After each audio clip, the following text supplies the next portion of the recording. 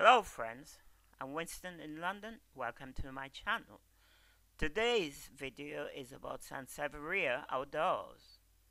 While visiting Miami, I came across this species of plant. Have a look.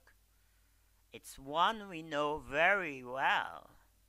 It's Sansevieria Boncel and it was nicely being grown in the ground. That got me thinking because I know the plant, uh, let's have a look at some of my plant at home. They are always grown in pots. The reason being that this species or species of Sansevieria are very sensitive to cold. It got me thinking, what is needed to be able to survive as species of plant in the ground?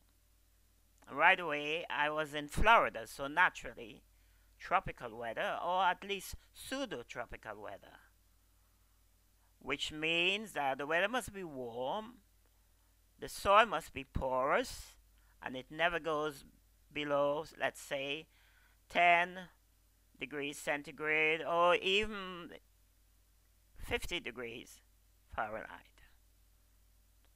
Let's look at some other plants. I think it's very important to notice even here much of the soil is mixed with grit, pebbles, stones, etc. The porous ambience is always necessary when you're dealing with succulents. Okay?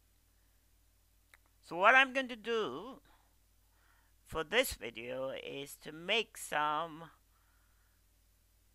collection of things that are necessary to grow these plants either in the ground or in the pot.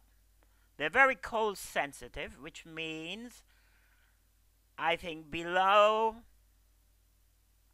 55 60 Fahrenheit or 12 to 15 centigrade, you're asking for trouble. I think it's very important to understand that and if you live in a place like I do, London, UK, at the end of October, they need to be protected from cold, any cold or frost. So here's what I want you to do. Enjoy the rest of the video and I will leave you some information below on how best to go Sansevieria and how best to avoid the cold. Also, if you live in the tropics, well, you have no problem. I'll mention a few things that are still needed. Winston, thank you.